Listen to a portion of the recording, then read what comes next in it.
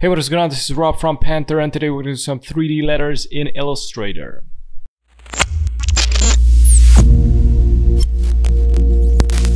Okay, so in this video we're gonna do, you know, the left one like this because it's like pretty easy and pretty fast. And I also have a video on this one, you know, which looks like more realistic. That one is uploaded on the membership channel. You can click on join and select secret content and there you can see like extended videos which are like more long because they these take like more time to explain stuff. There I explain why I do what I do and you get like more information out of that, more knowledge.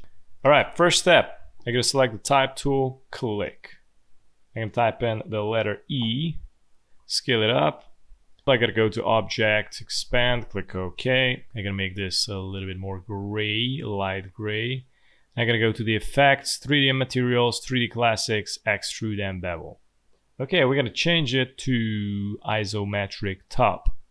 I'm to click OK, go to object, expand.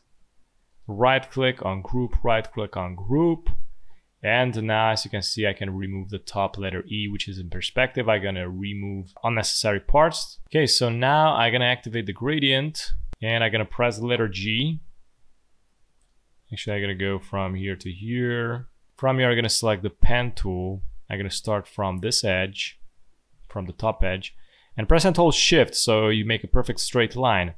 And bring it down here until they intersect and I'm gonna go to this point, to this path, and gonna go round and round like this.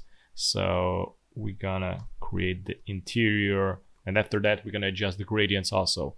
Now I'm gonna go to this edge, I'm gonna press and hold shift, go all the way down where they intersect, go all the way around, and do the same thing with this one.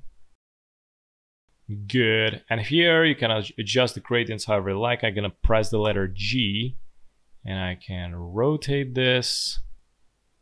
And I can put the, pull this little square, as you can see, so it's gonna make it more longer. And you can pull this little diamond here, to make it more lighter. And it's gonna start to come together. I'm gonna try to eliminate the white.